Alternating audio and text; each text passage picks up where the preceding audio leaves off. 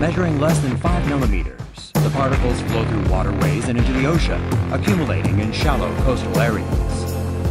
Larval perch that normally feed on plankton have been found to be actively choosing the microplastic as food. The ability to respond to the smell of predators and flee is typically innate in young fish.